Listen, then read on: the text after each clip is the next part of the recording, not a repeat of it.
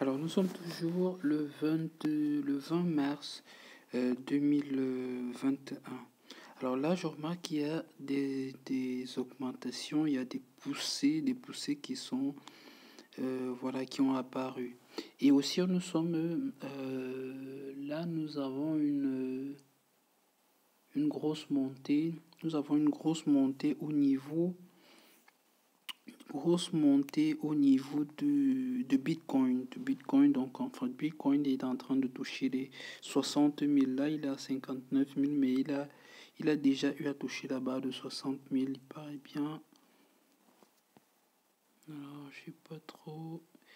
Mais sur. Euh, il a touché la barre des 60 000. Donc, présentement, il y a un changement par rapport à ce matin. Je pense qu'il y a un 200 dollars en plus à 200 dollars, non pas 200 dollars, 100 dollars en plus. 100 dollars en plus ici. Alors on va regarder les autres comptes. Ici, alors ici, il y a une grosse flambée. Grosse flambée. Je pense qu'aussi ici, par rapport à la vidéo de ce matin, il y a une augmentation de, de 100 dollars à 100 dollars à peu près. Donc, pouvons voir que le WIN a pris quelques, quelques dollars, le BTT a pris quelques dollars, le VET aussi. Tron aussi a gagné en quelques dollars. Euh, ensuite, nous avons. Alors, le Dogecoin, je pense qu'il a pris un truc comme 3 dollars. 3 dollars, mais c'est pas mal, c'est mieux que rien. Alors, pour le Digitbyte, j'en sais trop rien, je me rappelle plus trop.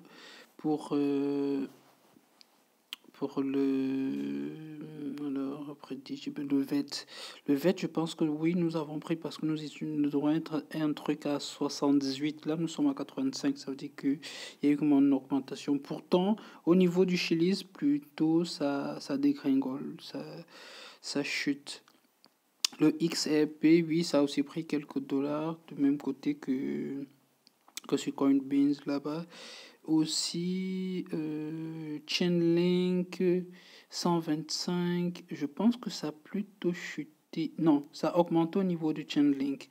Au niveau de Poldoc aussi, ça a augmenté de 2 dollars, je pense. Pour, Chain, euh, pour Link, Chainlink, je ne sais pas effectivement avec toutes ces valeurs, c'est compliqué de, de, les sauvegarder. Alors, par rapport à BTC ici, on n'a toujours pas touché les 2000 et c'est ce qu'on attend. En fait, ici, j'attends que ça touche la barre des 2000, disons 2020 dollars. Je vais retirer pour les départager dans d'autres monnaies, comme par exemple compléter mon nombre de, de Chainlink ici à 1500 au moins et attendre la, la poussée aussi compléter d'autres d'autres petites monnaies comme le, le VET. J'aimerais bien compléter à 1000, serait très bien.